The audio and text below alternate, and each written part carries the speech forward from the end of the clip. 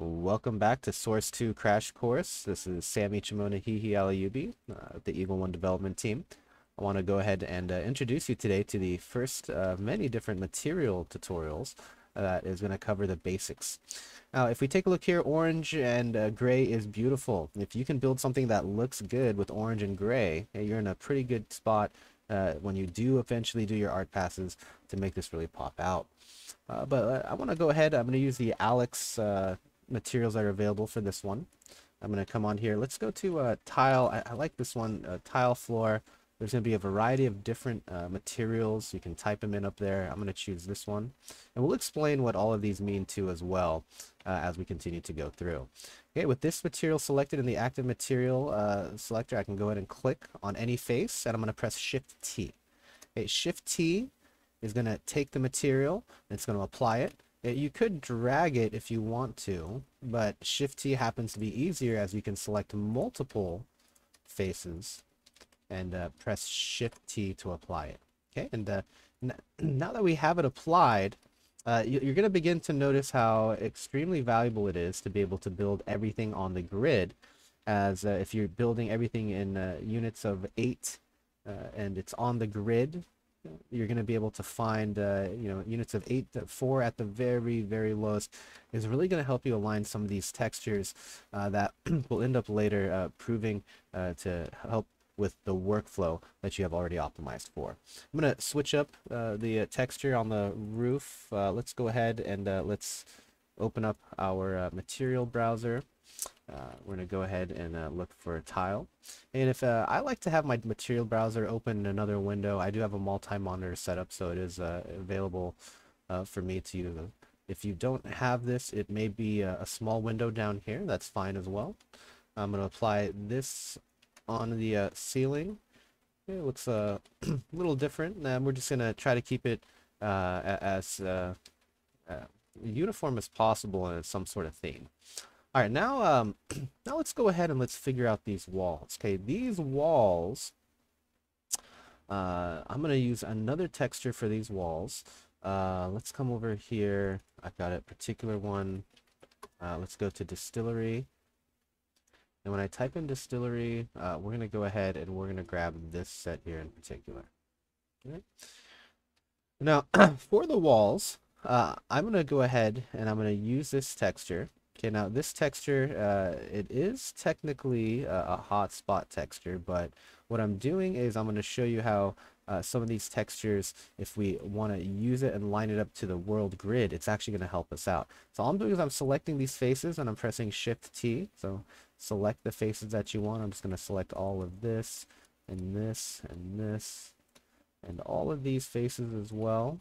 Yeah, I can alternatively hold down Alt and hold down shift, double click, and every time I double click on a face, it's going to select all the faces on that object that's parallel to it. Uh, so I've now selected all of them, press shift T, and it's going to apply it right away. Now, on first glance, this is already shaping up and looking a lot nicer than before. Uh, there is, however, some issues that we have here uh, with the walls uh, and, how the repeating of these walls is starting to become uh, somewhat obvious. Now, there's a couple of ways that uh, we're going to go ahead and we're going to fix this in a little bit. but for right now, I'm going to go ahead and I'm going to show you why it's important that we tried our best to keep this on the grid. Notice that when I select this face, this is also on the grid, 64 by 96. And I'm going to come over here, I'm going to move using this uh, tool set over here, I'm going to shift it to the left and right, and I'm going to try to match it up. Notice every time I move it, it's going to be based on this grid size. And since it's on the grid of 8, each of these tiles is actually exactly 8 units. So now I can go ahead and just move it to where I want. Okay, that looks better. Uh, same with uh, this one. This one it actually matches. I like this uh, seam right here. This one uh, matches as well, although this uh, going into here, uh, you know what, that might, we might be able to get away with that for now. Um, what I'm looking at though, and I'm concerned with is this long wall, where I have uh, two walls, and I can see there's a little bit of repetition that's uh, beginning on both sides. Um, so here's what I'm going to do. I'm going to go ahead and I'm going to select these edges, and I'm going to create a loop cut. Okay, select them and press V. Okay, V is going to make that cut right down the middle. And now I can go ahead and uh, I think I can play with this a little bit uh, to try not to make it look like it's repeating as much. Uh, so we'll go ahead and take this. Uh, notice as well here, this isn't matching up. So I'm going to go ahead and I'm going to use this shift, shift it around and uh, right there. Okay, uh, perfect. So it looks like actually every tile is four units. So if I really wanted to get down here to four units, okay, now I can get really, really as accurate as I want. So this helps out tremendously. Uh, for right now, we're just going to go ahead and move it to that spot. I'll go back to 8 uh, since um, I'm not going to go on a per tile basis. All right, so I've got this matching over here. It's matching over here. Uh, here it looks like we have some looping. That's fine. Uh, and uh, later on, I'm going to show you how we can further take care of how this uh, tiling that looks like it has some uh, continuity issues will be remedied with what we call a blend texture. And uh, that's something that is going to be in the upcoming tutorial. But for right now, let's go ahead and move on to the stairs. Okay, these stairs, I want to use concrete for them. concrete. There's a variety of different ones. I'm going to type in concrete though, and I want uh, uh, specifically trim, and I'm going to type in HS for hotspot. Okay, HS hotspots. Here's what this is. I'm going to select this one right here. And if you look at the active material, you'll notice it's cut up in, in a bunch of different ways.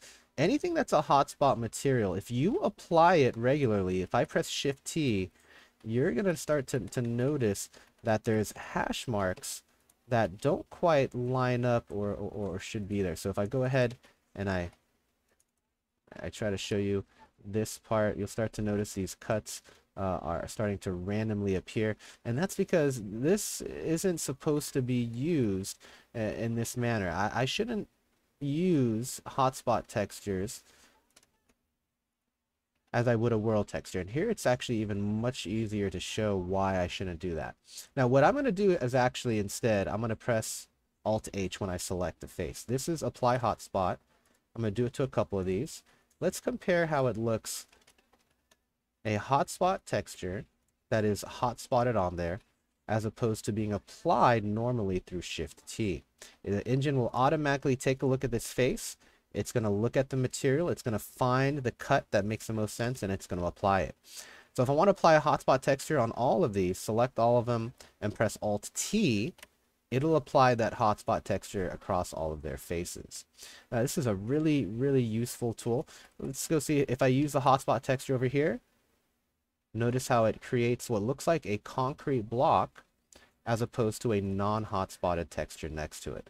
So hotspot textures are really a great way for us uh, to be able to work. Now I'm going to show you another application for them here as well. Okay, uh, I'm going to select these floor panels. Okay, and I can also do that by holding down Alt. And if I want to add it, Shift, double click.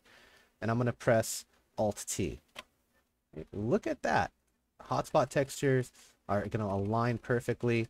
Now, if I didn't press Alt T as a hotspot, if I said align it to the grid, this is what it's going to look like. Okay, this does not look appealing at all, but one simple gesture and right away we've turned this into something that looks a thousand times better.